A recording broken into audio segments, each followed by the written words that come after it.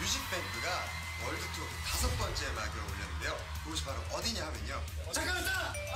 개로라고 까르르로 저희가 찾아갑니다. 예. 그렇습니다. 네, 저희가 3월 9일 어, 저희 KBS 뮤직뱅크 in 자카르타 예, 저희 예. 슈퍼주니어도 함께합니다. 저희 외에도 샤이니, 비스트, 2PM, 시스타, 인피니트, 틴탑까지 정말 너무나 많은 K-pop 스타들이 나오니까 여러분들 긴장하셔야 될 것 같아요. 지금까지 1호였습니다. Aku cinta kamu. Aku cinta kamu.